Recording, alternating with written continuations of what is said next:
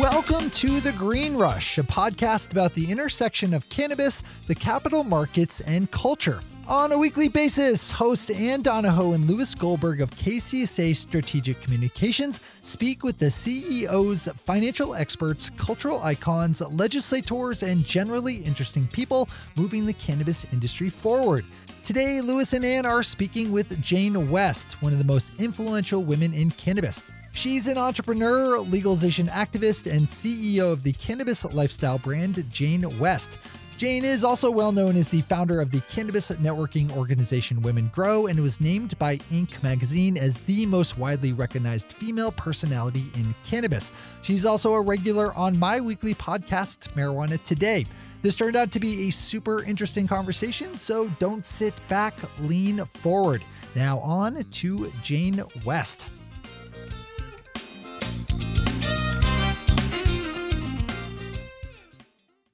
Hey, Anne. Hey, Louie. Uh-huh. All right, take two. Hey, Lewis, how are you today? No, you can call me Louie. It's fine. We don't even need to do take two. We can just keep rolling. It's just painful. So, um, a couple months ago, we were in Vegas for MJ Biz, and Shay invited us to do something that we both felt like total posers for an, an all star podcast of marijuana today. Um, and we met so many cool people. Uh, but one of the people we met was Jane West, um, who is a true like badass in this industry. Cool industry. chick. Just a cool fucking chick. Yeah. And I've run into her at a couple conferences. I saw her at NCIA in Boston, um, which, by the way, was a much better show than I expected. Um, what was you, What did you think of her when you met her? I mean, I was just kind of in awe because she's just this like this this force. I don't know. She just has this really cool personality. She's very approachable, um, but she's just this like like force of nature person.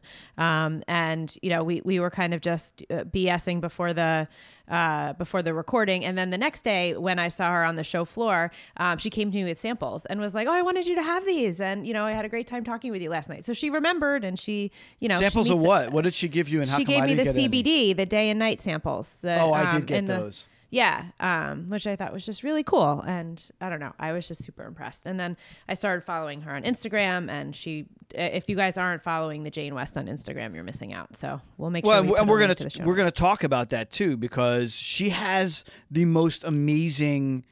She is authentically her on that Instagram, right? I I, I don't think that y- you know you always try and put your best face forward, like your Insta pose.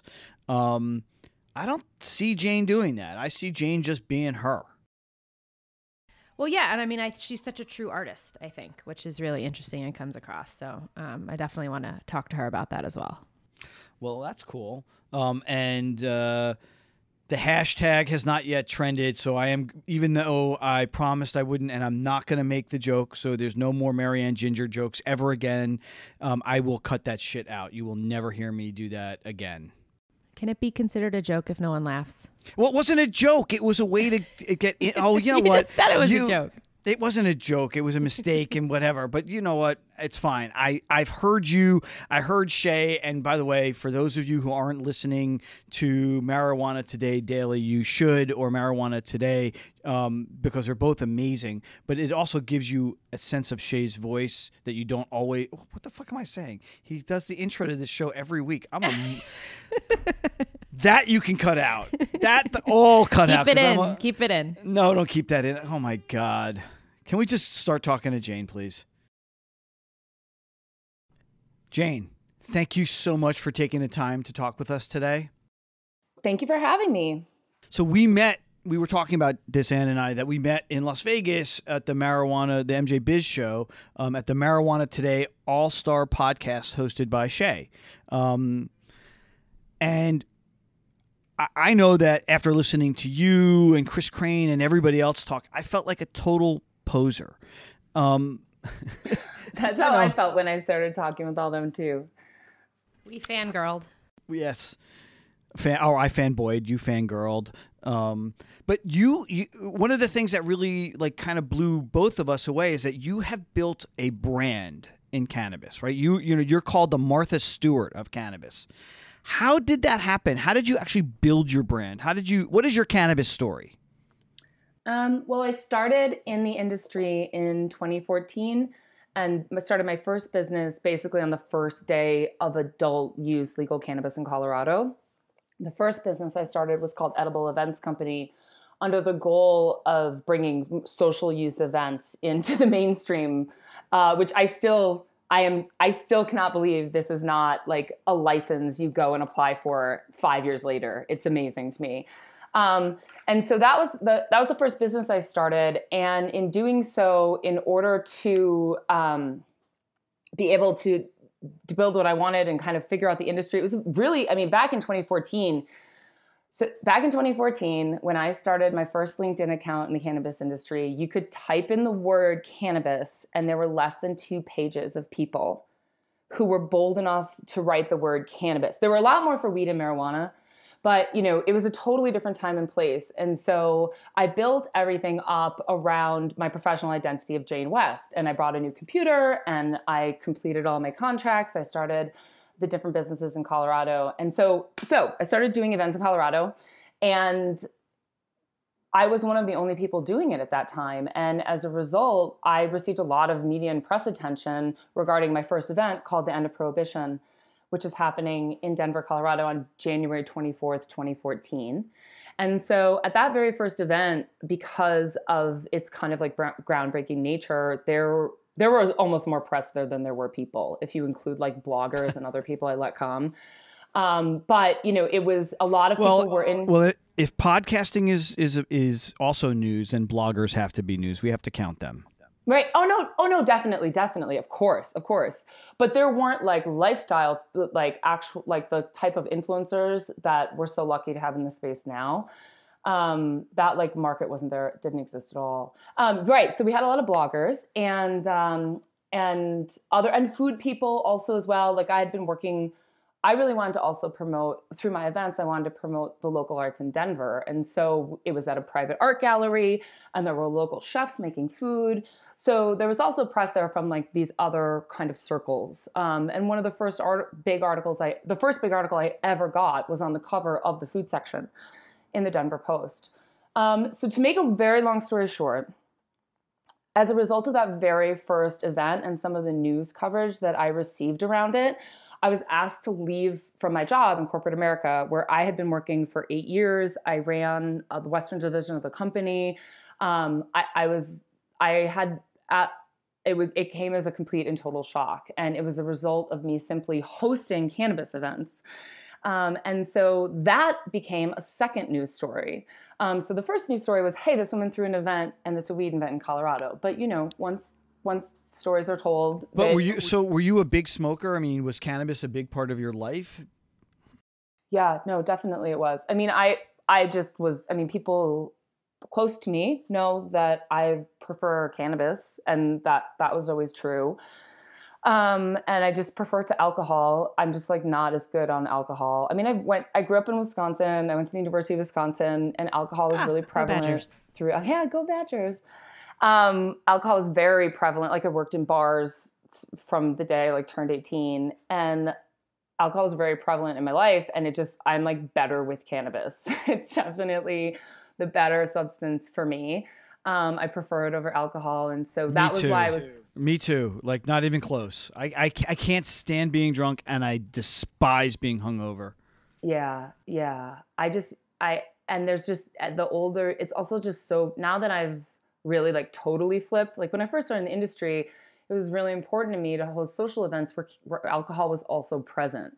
At the time, I could have hosted events really easily where there wasn't any alcohol in just like a room. But the point was to make this normal. And the point was to be able to allow my husband to be there and have a beer and like ha- let everyone just go out in a normal social setting.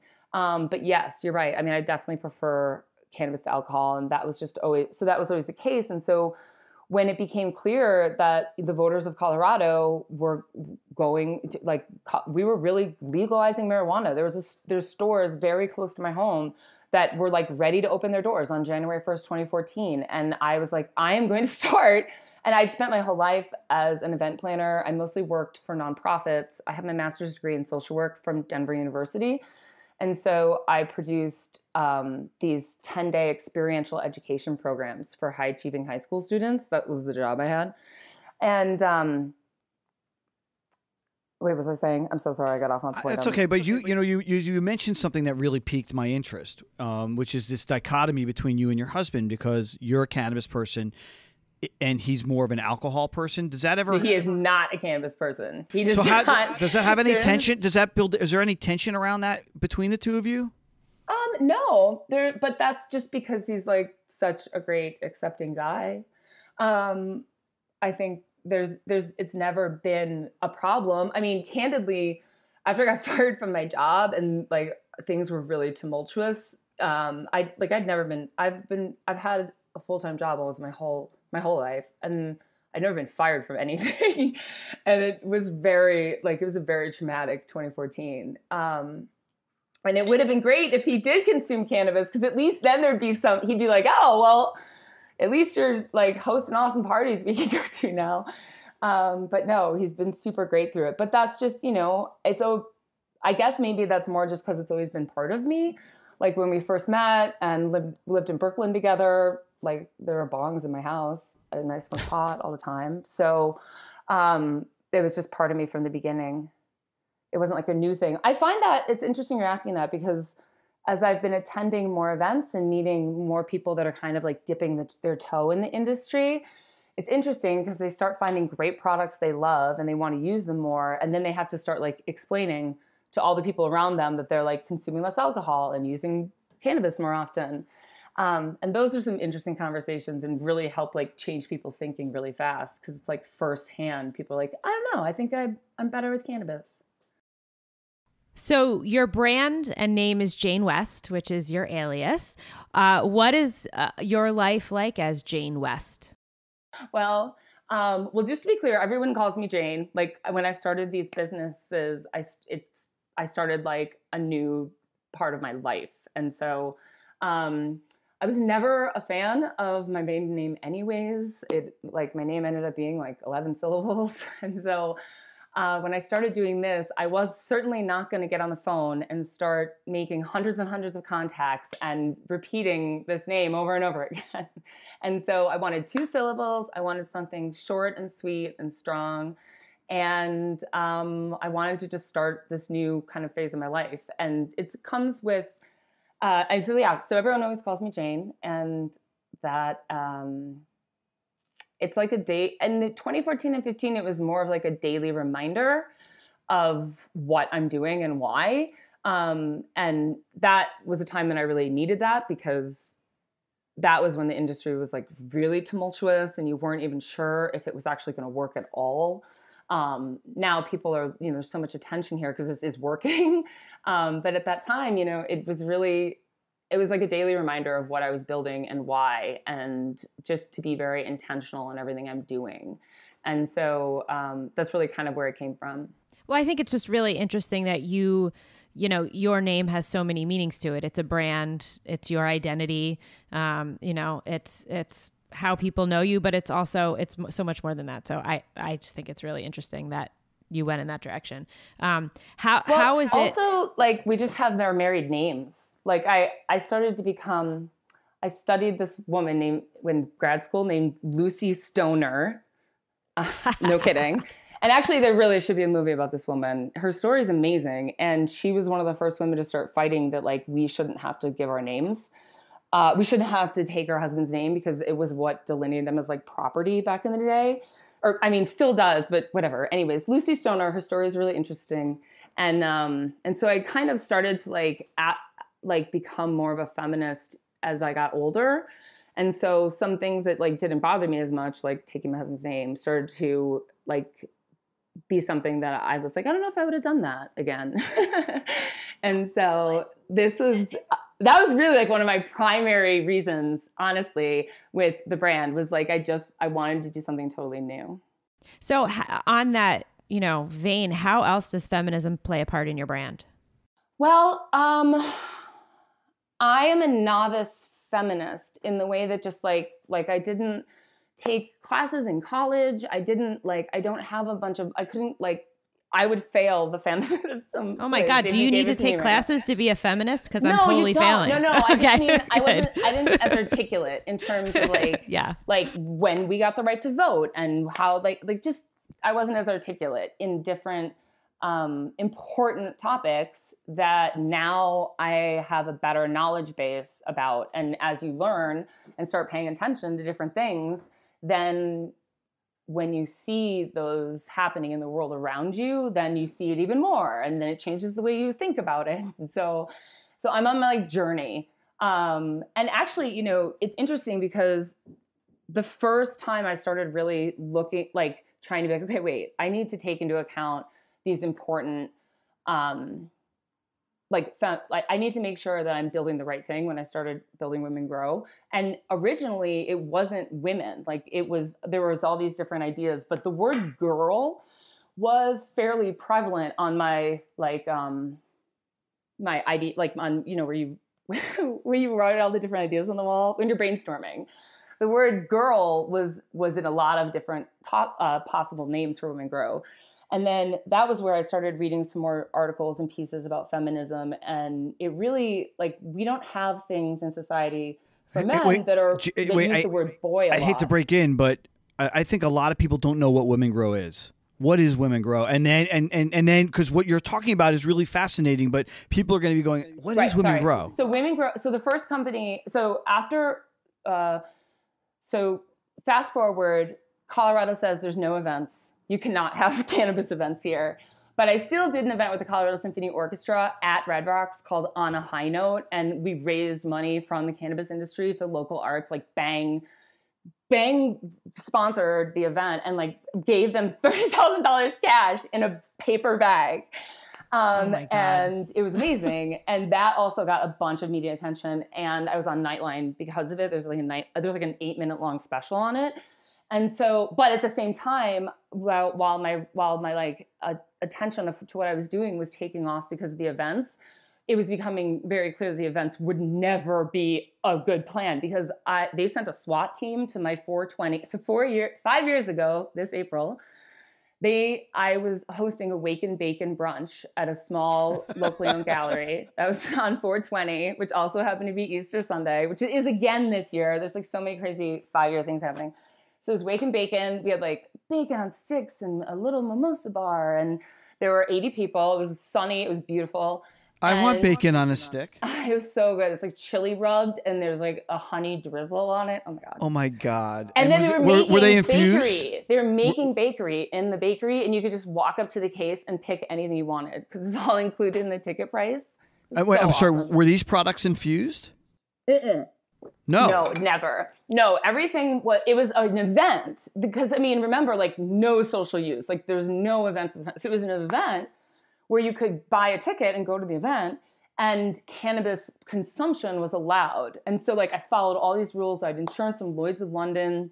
We had a shuttle bus reserved that we made look like a train car, and that's where you could legally smoke on because you can smoke on private for hire vehicles in the U.S. and not violate the Clean Air Act. And um, Is that everywhere or just in, in, in legal states? No, it's why like shuttles and different shuttle based tourism businesses are still um, doing well and, prev- and and exist because like that's fine. Like you can do what you want in this tiny little box for 20 people.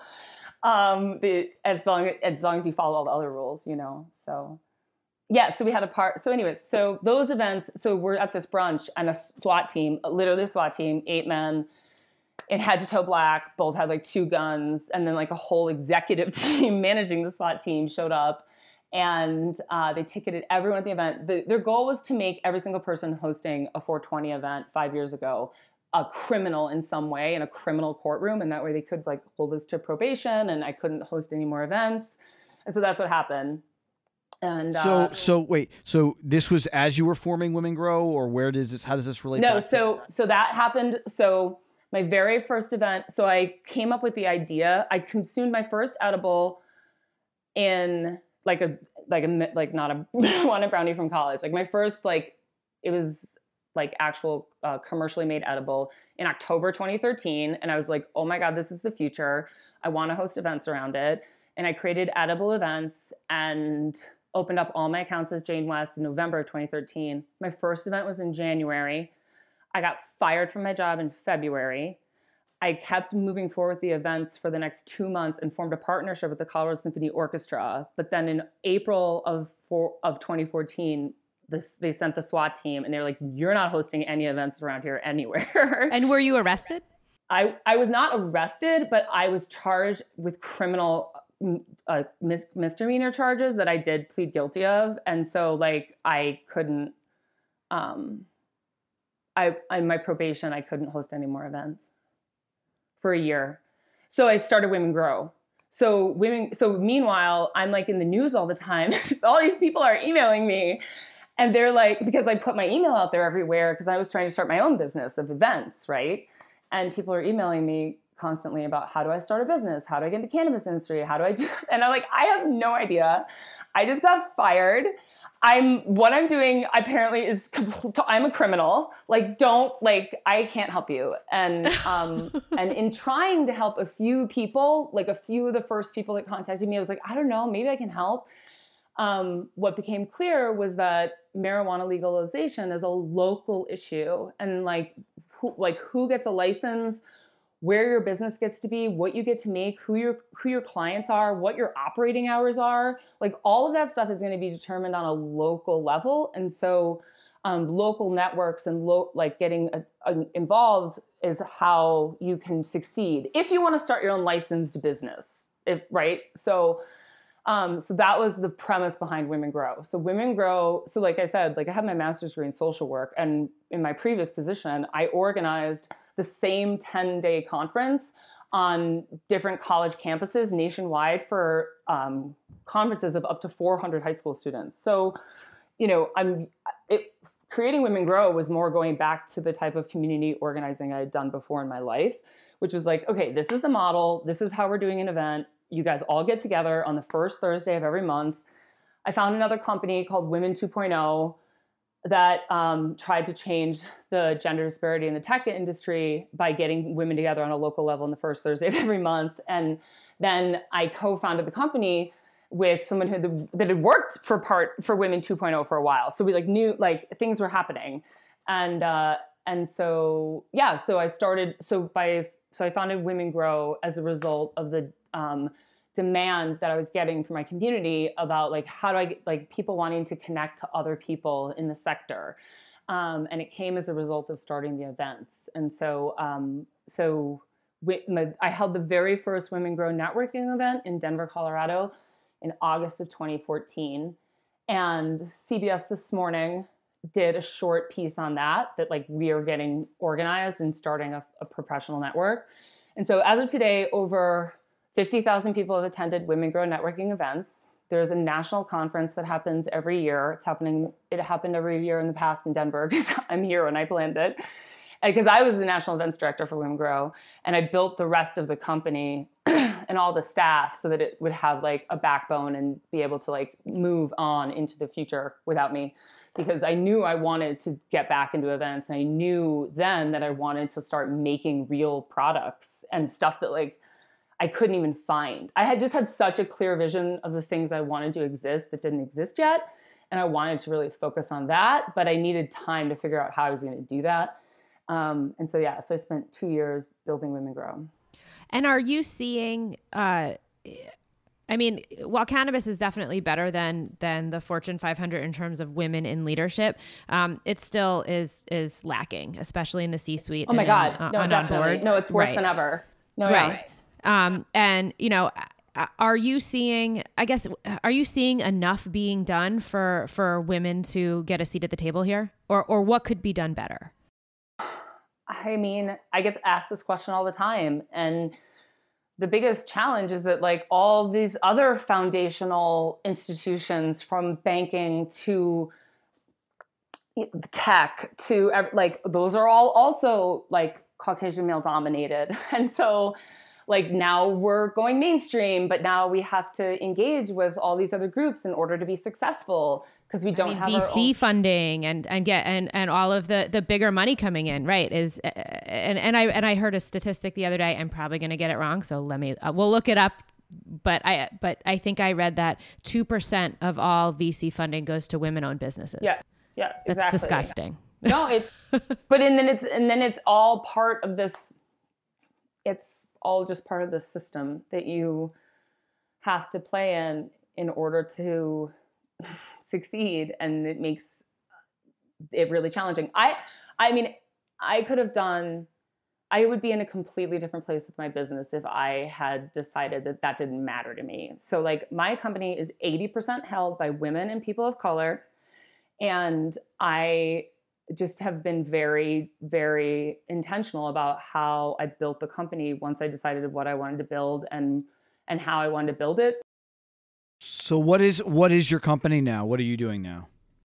so now i make um, home goods accessories and consumables in the cannabis space i have three different main verticals of the company and they're all intentionally very different but all under the same brand because the landscape is just changing so much and so quickly and you need to be able to meet that like kind of patchwork that's going to form globally as like demand increases so like every country's there's just such a different So can you be? So I've seen some of your products. I've seen um, uh, the the um, the dugouts and some of the other things. Can you describe what you, what you're actually producing? Yes. So the very first thing I decided to make in the space was a glassware line because I still believed at the time that I might go back in big with events. And I wanted, by the time events, cannabis events were legal again, I wanted to be able to have my own glassware at my events because I wanted glassware that was monochromatic and like all one color, like looks good, like just like other things we have around our homes and things you buy from Crate and Barrel that tend to be all white or all black or all one color. Um, I wanted glass that was monochromatic. I also wanted pieces that fit, more seamlessly onto a tablescape. So I wanted to create a beaker that was shorter than a wine bottle and um, had a big wide base so that you could set it down and not have it tip over. So I had these very distinct ideas of what I wanted my glassware line to look like. And so I partnered in and did a collaboration with Grav, which was just the premier glass company. And and I just I totally synced up with Dave Daly, who's the CEO there, and we like totally had a shared vision so quickly. And um, and so we created the glass line, and so that was the very first thing I brought to market. Um, but that's a collaboration, and and Grav they know glass, they're amazing. Oh, they're stunning. I mean, you're uh, well, and we'll plug your Instagram page. You're, it's the the work is stunning. It's art. It's art, right? Yes, they, I I think so. I mean, I we what we came up with just like so exceeded my expectations because we like were so strict about also having functionality and utility as like the primary. So it just they just like fit in your hand so naturally, and um, yeah, they're they're they're your grandma's glass. they're, they're like I'm making them in mint, like a like a milky green. So um, yeah, I love them. They're Is that okay, what so the you can color's called? the Yoki pictures. green? Well, no, it's called mint. Mint. We, Oh, okay. There's a huge debate. Is it jade? Is it mint? Is it? um, it's actually milk glass. So we, but so milk was one of the words in contention as we figured all this out. Um, but no, it's called mint. So Jane, you you you you've talked to me about this in the past that you're raising money for the company. Can you talk? I mean, you know, Anne said that two percent of all of all venture capital goes to women. How has the process been for you?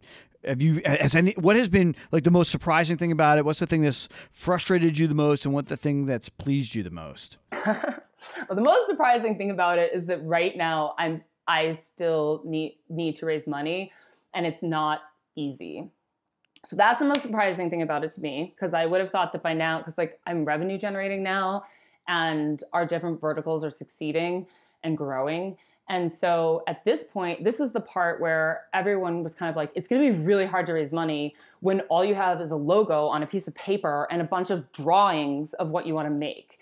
but like once you actually have stuff and you're selling it then you'll raise money really easily like and so um, but what's happened is so i within a list of ideas so i have a glass line so just to be, make the story comp- like uh, timeline so i have the glass line and in creating the glass line with grav that was when i i really like drilled down on what i wanted my dugouts and one hitters to look like because that's what i always used was a dugout or one hitter but i just like they're wooden they're 800 colors I had this little thing I'd like kind of like stitched together from the container store.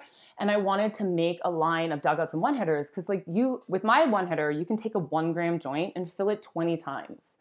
And with the quality of cannabis that's out there, like, you don't need a lot. And it's about like dosing and not having people um, overindulge in some of their first experiences and have positive experiences as they like get more comfortable with consuming cannabis and incorporating into their lives. Like, we don't want to get people too high when they're just starting. But I like it. I like the feeling, just like people like the feeling when like a wine glass start a wine starts setting in and like getting a little tipsy. Like I like that feeling, but we need to ease people into it. Um, and so we do that by dosing and having them take a measured amount that's always the same. Like you, I can roll a joint that's super tight or really loose, and people who are puffing on it are going to get different amounts of flower but using a measured one hitter that has exactly two hits in it is a way that you can like measure it out and take just the amount you want. And so I wanted a line of dugouts and one hitters that were also just like looked cool and had a functionality and utility where like every last inch of it was being used for a purpose. So I designed a four piece line on paper, but in order to make that designed four piece line a reality, I needed to raise $1.2 million because I need to like find someone to make it and then make it and then create all the packaging and then create all the instructions and then get insurance and then import it and then export it and then have it in a fulfillment center where I'm going to sell it. Um, and so, so that was the point in 2015 that I realized I needed to raise money. And, the, and then, and so that's been one of the most challenging things in the whole process. And it's, it's it's bittersweet because now there's just so much talk about investing and money and people are raising money and raising 50 million and raising and i try to make myself i feel better about it because i know they're not actually raising money they're borrowing it and i don't know why. and they're giving that, away chunks of their company for it yeah but they're also borrowing it it's just such a like we just have such a bad at least i did going into this like bad financial uh skill set. and so well, when you apply the word raising to money you're taking in that the people are expecting you to give them like at least four times back, like that's that's borrowing. And so um, so I've tried to keep that to a minimum as I built my company. But I, I did, yeah, so I set out to raise money. Well, we have a lot of investors who listen to this show. So if you guys want to get in touch with Jane, yes, email us email at Green Rush oh, or email yes. Jane directly. You can email me. Do you have an email? Jane, yes, you can email me at jane at janewest.com all the time, whenever you want, especially if you have a checkbook. yeah. So um yes. So um so yeah, so that's been the part. But honestly, see, this is where if you really know what you want to build and why, you're just getting there. Like I'm just trying to get to this point. Um, and so as I needed to raise money, I, I very quickly raised money from a few key seed investors who absolutely who they just like understood my vision and it was the right time and place and um, and I raised capital and so that was great um, and then as then I had about half the raise left so I had about six hundred thousand dollars left and I needed more money now at an exact moment in time because I needed to start buying the inventory of everything I had created. Um, and so that was in the fall of 2017. And I started looking into equity crowdfunding because it equity crowdfunding our equity crowdfunding campaign served a whole bunch of purposes for for the company and part of it was also just my co-founder jesse meehan and i were like let's go just raise money from people. like we were so frustrated by I, the amount of time and energy that went into different investor calls where my only goal was to like kind of change one person's opinion. But if we could put it out there and really expand our reach and the volume of our message and engage more people, then like that's beneficial for me anyway, because that's like a touch point. And so through the equity crowdfunding campaign, you know, we had tens of thousands of people come to the website and learn about our brand. Um, the average time spent on the site is like over five minutes. They like really learn and study what you're doing. We were able to raise $189,000 from investors in 17 countries, and I'm building a global company. And so that was huge for us and really made big inroads into these other countries um, with players there. And um, by, but the most important thing, and I think you know Lewis can appreciate this, especially from his perspective, is that like I was able to talk about what I'm building and what I'm doing, but because I was removed from it all by t- by having it be part of equity crowdfunding, um, it helped me really jump over all these hurdles for advertising and accessing customers that other brands experience in the space. We're like you can't, we know people are making ad buys that they're not getting. We know there's like like you know people dampen the what people like how we're trying to promote things and web pages get shut down after and Instagrams get shut down at like 60,000 people like it's amazing what's happening it's amazing to me actually how how it's all still succeeding like a giant commuter train despite the fact that there's so many challenges to banking and advertising and marketing and everything and where you can and can't post things and all that stuff like it still is just moving forward at such an amazing pace. But um, but yeah, it's been really challenging. So by using equity crowdfunding and ha- having talking about people investing in us as opposed to just like just buying our product, um, it really helped us kind of get through 2017 and 2018 where we're like now we're getting to those final dominoes in 2019 2020 where like we're going to be able to buy advertisement. We're going to be able to have a, a solid marketing budget that's based on a plan that where we can use more traditional methods. And um, and so yeah so the, doing equity crowdfunding really helped us as a brand because we were able to acquire 550 new new investors and that are you know invested in the brand and what we're building um, it helped us expand on a global level um, with investors in 17 countries and those are just people that invested. Like people read about it from dozens and dozens more. And um, and how much of that came like it came from 17 different countries? Like what's the percentage of that overall? Oh, um, it's like all the US. Okay. I mean a lot of them are like $25. So I also the other reason that equity crowdfunding was so important to me was that like I have a ton of people in my network that are like that they could see how hard it was for us to raise money for this new idea for the dugouts and one hitters. And they'd be like, if I could just give you like $5,000, I would. But that's not how it works when you're playing like the real, like, like you have to have accredited investors and you have, like, it doesn't work that way. And so equity crowdfunding allowed a lot of people that have been, fo- had been following us and supporting us to be part of what we're building and part on the cap table, even though they're not actually accredited investors yet. Um, and so, and that was, that was awesome because now like our whole posse is like along for the ride. That's awesome. Well, and and you, so I, I asked the the international question because you do travel a lot, mm-hmm. um, and it looks like you were just um, in Barcelona. Not that I'm stalking you or anything, um, but maybe a little. You're supposed to. Uh, That's the point. yeah, it's totally um, fun to watch you on. Oh, Instagram. it is totally it fun. Is really totally fun. oh, I'm um, glad. Yeah, it's, I love it. It is stressful. And, like it is one of the things that if somehow, what putting content out there on on Instagram or yeah, I mean yeah. because in a lot of most what I've had to do is create my own a notebook for myself that I think about before the day, and I'm like, okay, I'm going to post this, I'm going to post that because if I just go, in, I'm really building these businesses, so I don't have time. Like, like well, you make it look easy. okay, well, thank you. That's good because I'm always like smoking a joint on somebody else's side. like, but it no, looks like fun. It looks like you're having a great time. I am. It really no, does. I am having fun. But you just you get into the meetings and then you forget to make posts because we're like working on and strategizing. You mean you, you mean because business meetings don't make great content? oh, they do, but I'm just standing at this freaking computer like all the time. Like like so I don't know. That seems boring. Uh, uh, we get it. We're in a lot of meetings. Um, so, uh, and what is it? What is the cannabis culture like in in cities like Barcelona? So I did. So I've, I've we did Spannabis, and then I've in the past I also have done Cannafest. How was Prague. that? So yeah, okay. they're both. So just I just so my this is just my opinion also, but like so but I just kind of frame the European market from those two experiences. And so there's very little they, they don't want stuff the way Americans like stuff. Like I want like Americans want stuff and things and the parts and the tools and the things and the kit and the whatever. And they're very it's a very more it's a much more simple like consumption experience. There's a lot of joints um, being rolled. There's a lot of tobacco being consumed along with the cannabis.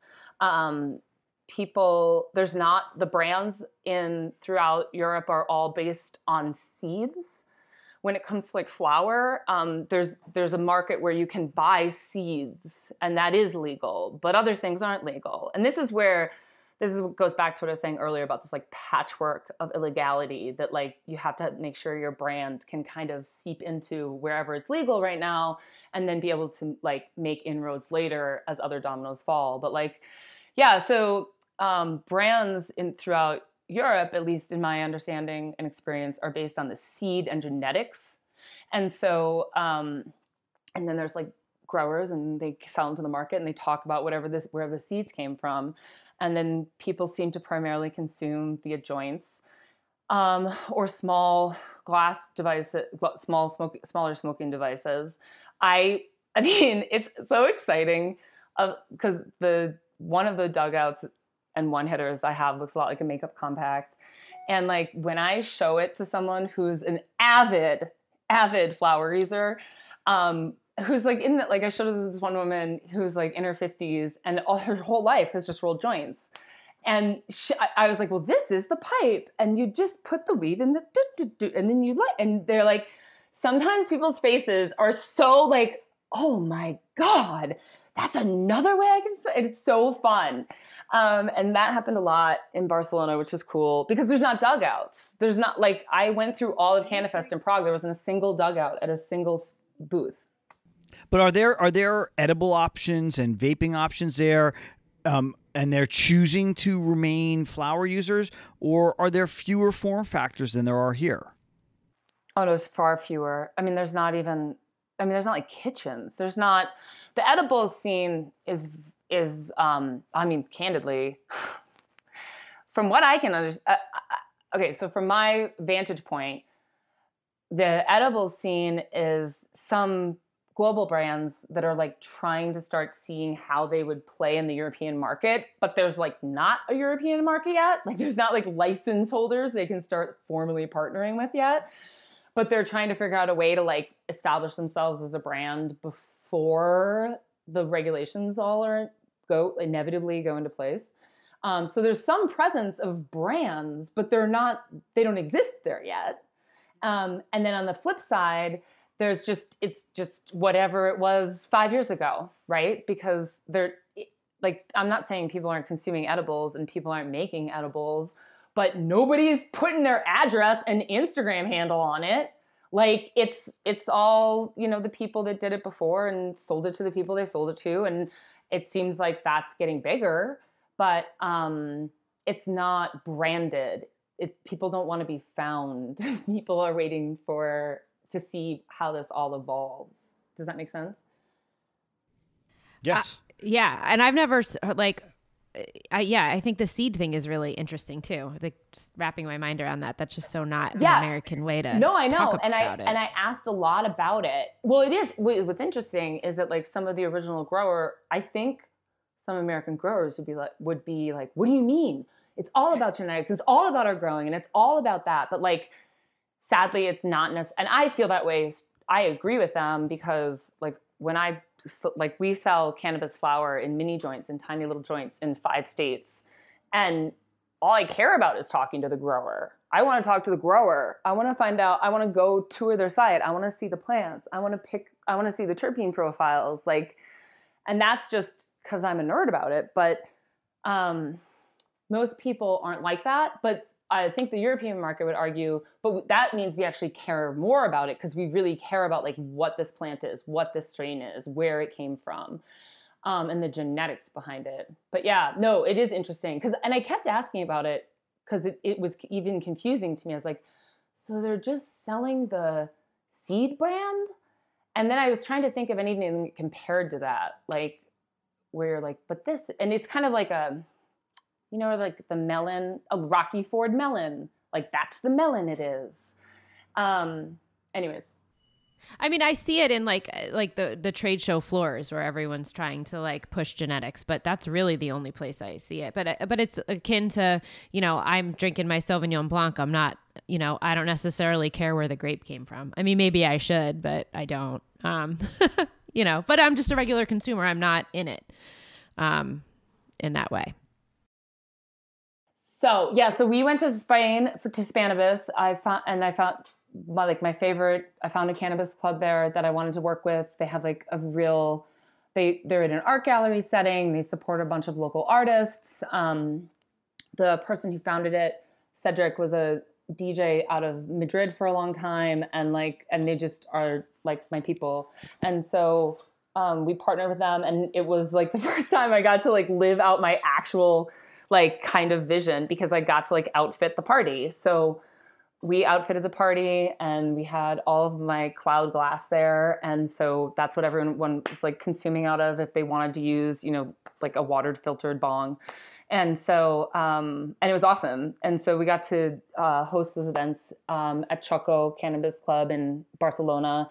And um, it, Spannabis brought a lot of people from all over the world um, out of the woodwork, which is great. And we made a lot of great connections uh, with people that are starting to establish distribution. And it's exciting because it's all very new. Um, and the people that are involved are really fascinating. And if you're like kind of on your journey for your own reasons, then you find your people, and that's exciting. I loved Spain. Um, and I love the coffee in Spain. It's so, I mean, it's it's better than our coffee, uh-huh. um, except maybe your coffee. Want to talk about that? Coffee, yes. Um, well, I'm drinking it right now, and I drink it every day, and it's my favorite product, and it always has been. And so, um, so and I what bought, is it? It's a CBD coffee. Um, so that I just so as we entered 2018, and the primary questions we were receiving from our audience were regards to, in regards to CBD. I started looking into the products more and deciding like what I want to bring to market. And the whole time I'm drinking CBD coffee. So um, one of the oldest companies that I'm close with in the space is Steep Fuse Coffee out of Boulder, Colorado. And they've been making, the Devin and Ben have been making coffee there and roasting beans with full spectrum CBD oil um, for four years now. And so I met them and got their coffee and I've always consumed it. And so that was why I like I knew I believed in CBD, but I was trying to identify what products I really wanted to bring into the space. And so yeah, so I I reached so I was drinking CBD coffee a lot, but then as we decided to to like bring more products to market, I started trying a ton of CBD products. Um, gummies and tinctures and uh, balms and salves and all these different things and then had I have like my focus group of people who also try the products. And so the whole time though, I was like, God, I just I love my CBD coffee. And so I reached out to Ben and Devin and was like, I want to bring Jane West CBD coffee to market. Like this is my favorite coffee. I have opinions about the beans and I have opinions about the ratio and I'd like to have my own exclusive blends and I'd like to have um, my own exclusive ratio in the bag, and I want to like start blowing out this coffee. And they came to the table and were super receptive, and so that was one of my that was my first like a- agreement in the consumable space. Um, and so yeah, so my what had always been my favorite CBD product, I now I now sell as Jane West CBD coffee. Um, it's a full bean, it's a whole bean coffee. To be clear, you have to grind it, um, but that's really part of the experience. Just like grinding flour is part of your consumption experience. Um, ha- grinding those coffee beans and releasing all that full spectrum CBD oil that's been put into the beans at the final stage of the roasting process is really what makes the experience so premier. And so, um, yeah, so we have a CBD coffee. And then in that journey, I also identified that I wanted one THC free CBD product because I just feel like there's so many people that are just never going to feel comfortable with this like trace amount that comes from CBD full spectrum oil. And so um, for that, I went to Oklahoma um, and I work with a group out of Oklahoma in a pharmaceutical grade facility. And we make THC free capsules. And those also come in day and night. And Ooh, so that's the, what I tried. I liked them. Yes. Yeah. Yeah, I like those. I like those as well. Yeah, and you know, it's so exciting now because we just started our influencer program. So I just sent samples of the month of supply to like a dozen or so influencers in our network, and they're really what what I'm what I'm really excited about is the universal positive like feedback we're getting because sometimes I I was concerned that maybe um you know a really heavy user or like or that it might affect someone differently if they're like a, a primarily like a concentrate consumer or like doesn't don't consume cannabis at all like how like how will this affect as you start to mix all these other how will my supplement affect what how it feels with all these different groups that are consuming other forms of cannabis and all different whether it's zero or a heavy user? And we're getting such great results from everyone it's making me very excited um, the capsules are based in a moringa powder which is a superfood and really helps for uptake and I, my goal was to come up with a capsule that like what is the smallest amount of cbd that's going to make the biggest impact on your day um, and so we have 10 milligrams in the morning and 10 milligrams at night and because I do think you should take it twice a day. I do think you should like titrate it and take it twice. And if you if we if I thought I could get people to take it four times a day, I would, but just it's a new habit people are do, using, so the day and night. It's also ex- it's also expensive. It's not. It's oh, definitely, definitely inexpensive. Yeah, no, it yeah, absolutely. Um, yeah, and it's even more expensive when you're like producing the the products in, in a more like commercial pharmaceutical lab tested manner. So, um, yeah, but it's exciting. So my two CBD products are CB, Jane West CBD coffee and Jane CBD capsules. The coffee comes in light and dark roast, and the capsules come in day and night. And they're available at jwcbd.shop as well as retailers. Well, there's like a dozen retailers carrying it now. Um, a bunch of groups that were carrying my uh, dugouts uh, retailers and storefronts that were already carrying my glassware and dugouts were the first people I reached out to to start carrying my consumable products. And so um, about a dozen have picked them up, but we just got we're just getting started. So that's exciting. Nice. Well, thank you so much for for being so generous with your time. We do have one more question for you, and then we'll set you free for your weekend. Um, so we do this segment every week called "While You Were Sleeping," uh, and we ask our get ask our guests um, to tell us what's the the one story that is just not being told, or what's the one um, if you woke up and uh, on the front page of the New York Times was this headline, what would that be? Or insert paper of choice. It is disappointing to me how little small business exists in the space right now. Extremely disappointing. Like, one of the biggest motivating factors for me to found Women Grow way back in 2014 was what appeared to me to be accessibility to the market.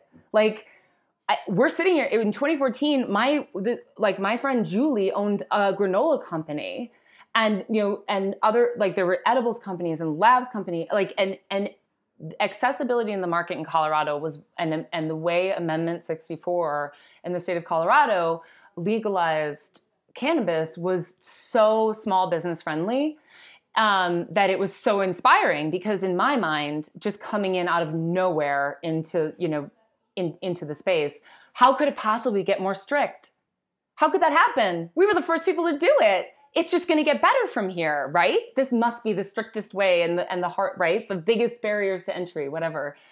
And what I've seen as I try to find cannabis diversely held companies um, nationwide to be my cannabis partners is that like someone got there first, that's for sure, because the number of licenses that are being awarded, what it takes to get a license, how everything plays out after that that like, oh yeah, there'll be a whole nother phase of licenses. Don't you worry. But yeah, when those come out, you guys are getting your whole next level of licenses. Like the advantages that are being provided to groups that have no differentiator other than capital and clout is very concerning. And people aren't talking about that. We're all now we've like flipped this switch with Canada and this is all just my own opinion, but I mean, we flipped the switch with the Canadian market where now, like, we just hurdled all, all these conversations. Instead, now we're talking about, you know, market cap and trading floor and all these, like, no one even cares anymore. We're talking about how big we can make all these companies as fast as possible and who's doing what. And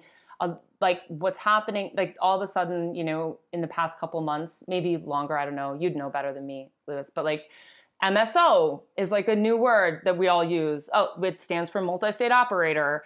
And like that's a thing now, you know. And so what's happening in the space to me is concerning and disappointing because I had hoped that I would see an expansion of what Amendment 64 put in place in Colorado with access far more access to the industry for small local businesses because we have to grow this here on our own like i want flour that's grown in colorado you know?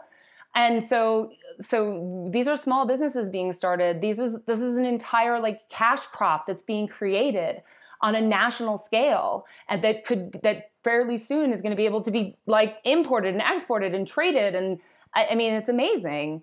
Um, and what i've seen nationwide is just very, very concerning as I go out looking for diversely held companies to partner with and literally can't find any. Wow. You just totally bummed me out. I'm sorry. it was Like a you- great answer, though. It was a great answer, maybe the best answer to any question that we've Yeah. ever had. Um, so we're at the Oh end. Oh my god, I'm gonna take that to the weekend. We really do have to end. So you get you're going to get the last word, Jane. Um, where can people find you? Where email, website? Where should we be okay, looking so for yes, you? you can follow me personally and my life at the Jane West. You can follow the company and what we're building at Shop Jane West on Instagram. Uh, for the most part, I manage both those accounts, so you kind of like see what we're doing every day. And then you can go to janewest.com and there's links there's links on there to our blog and our different articles and then some of the news pieces that I talked about during this interview. Um, and then additionally, there's a page about where to buy, and that'll connect you through to the different sites of where to buy the products that I talked about on this podcast today. awesome. Yay. Thank you so much. Thank you, Jane. Thank this was great. Awesome. Our thanks again to Jane West. We'll put all of her beautiful products and where you can find them in the show notes. You can check her out at the Jane West and at shop Jane West on Instagram or online at her shop jwcbd.shop.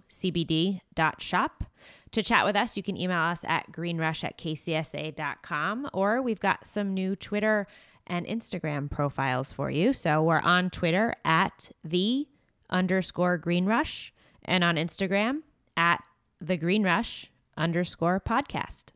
So we made it really not confusing. That's it. Have a great day. One take, Shay. One take.